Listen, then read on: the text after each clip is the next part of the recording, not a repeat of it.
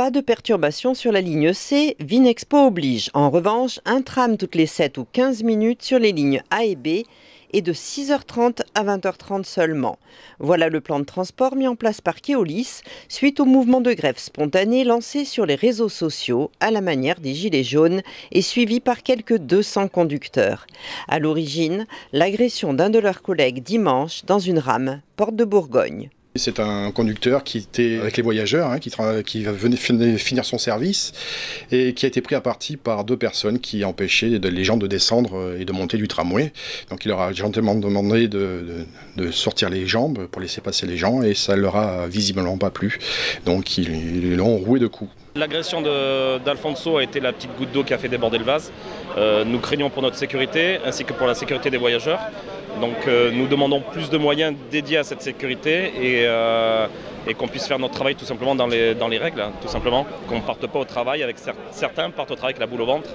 La direction reconnaît la gravité de l'agression, sa violence, mais affirme que leur nombre a diminué de 27% entre 2018 et 2019, grâce notamment aux moyens mis en œuvre. On a, nous, euh, euh, une, équipe de 127 personnes qui euh, consacrent leur temps et leur journée à la sûreté et au contrôle sur l'ensemble du réseau. Et nous avons également des contacts très très proches avec la police nationale. Donc on a des, des, résultats intéressants puisque en moyenne on intervient en 12 minutes sur les lieux d'une agression, d'un incident ou d'un accident.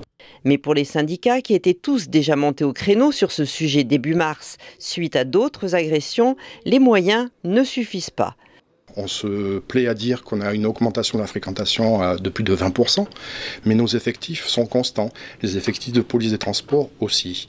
Profitant de ce mouvement inédit, la CFDT a décidé de lancer une alarme sociale. Ça fait plus d'un an qu'on demande à la préfecture de nous recevoir pour parler de sécurité. Là, il a suffi de déposer une alarme sociale qui est un mouvement spontané de conducteurs pour qu'on ait une date du 16 de rencontre avec la préfecture. Tous les syndicats se retrouveront donc autour d'une table jeudi avec Bordeaux Métropole et Keolis.